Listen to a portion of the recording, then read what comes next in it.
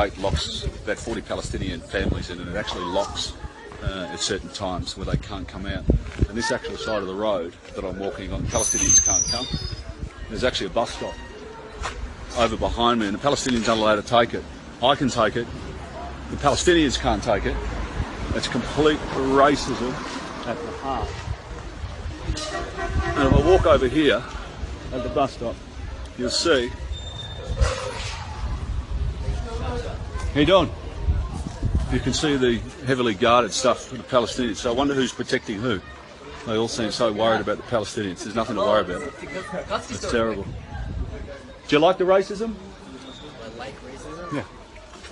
What do you think about the Palestinians not being able to walk along here? Huh? I don't know. I too much about it. It's because you don't think about other people, or Of course I do. and then how can you not think when they can't walk here and they can't get the bus? Huh? They can't get the bus. They can't do anything. What do you think? Don't care. You don't have to read up that. You don't have to read up. You're living here, man. I don't They're not allowed over here Come on, when you're on the bus. I live in America. I come here a few times. American dollars paying, huh? Fantastic. Hey, can I ask you what you think of the racism here?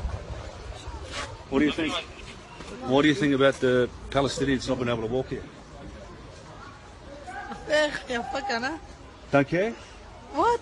You don't care? So, I don't, uh, arrogance? understand see the, you see the arrogance about it. It's very arrogant that they're racist right to the heart. It's disgusting. You should be really ashamed of yourself. Say hi. You're looking for peace? Just want to steal all of Palestine? You should be ashamed of yourself. I just wonder if I could ask you a couple of questions. You want to tell me about the? You want to talk to me about why the Palestinians can't walk down here? You don't care? I don't know. I know as much as you know. No, you don't, Did you live here. I don't live there. So that you just use, you know, ignorance with a big smile you. Should all be ashamed of yourselves. You, you can laugh. You don't know what's going on over here. You don't care Hi guys, because you're all protected by this. Yeah, I'm recording are you? because you're racist. It's disgusting. You're all protected by all the armed services.